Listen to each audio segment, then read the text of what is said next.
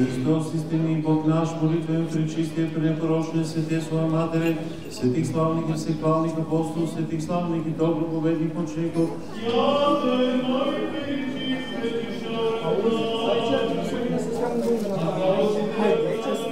A fost sărbătoare mare weekendul trecut la mănăstirea Pantocrator de la Drăgănești Vlașca. La fel ca în anii precedenți, la vestitul lăcaș de cult din Telorman au fost aduse spre închinare odoare prețioase și sfinte pentru ortodoxie. Pomenirea ei uh, singură ca și sfântă este în ziua de 22 iulie, uh, zi în care mănăstirea Pantocrator uh, o sărbează pe ocrotitoarea ei pe Sfânta Mironosiță Maria Magdalena. Cu prilejul acestui hram organizăm ca în fiecare an un uh, eveniment deosebit pentru faptul că oamenii vin, uh, deși este foarte cald, și la această sărbătoare pentru a se ruga aici la moaștele Sfinte Maria Magdalena, care se află în mănăstirea noastră. Vom aduce spre închinarea și bucuria credincioșilor uh, o doare prețioase și sfinte pentru ortodoxie. Este vorba despre cea mai veche icoană din țara noastră, icoana Maicii Domnului de la Neamț, numită și Lidianca sau Îndrumătoarea,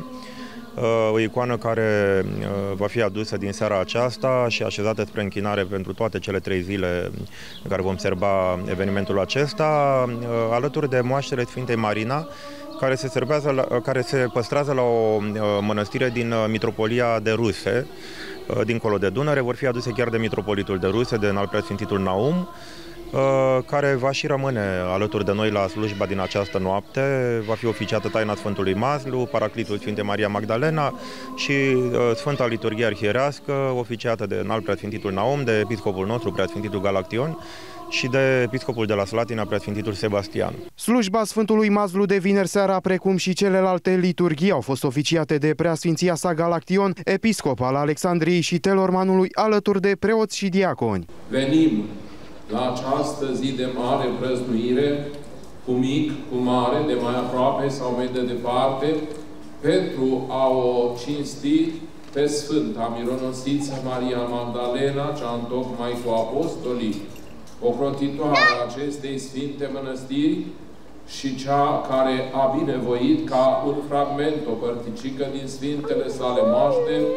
să se păstreze, să se cinstească de către viețuitorii acestei Sfinte Mănăstiri și de către binecredincioși și creștini care pășesc pragul acestei Sfinte Mănăstiri. Cinstitele odoare au fost așezate spre închinare până duminică la prânz. Mii de enoriași au trecut pragul mănăstirii pe parcursul weekendului pentru a se închina la cinstitele odoare ce au fost aduse cu prilejul hramului mănăstirii Pantrocrator. Icoana Maicii Domnului Lidianca și Iracla Sfintei Mucenițe Marina au fost ulterior aduse spre închinare și la catedrala din Alexandria, acolo unde a fost oficiată taina Sfântului Mazlu și paraclisul Sfintei Icoane. Vremea aceea,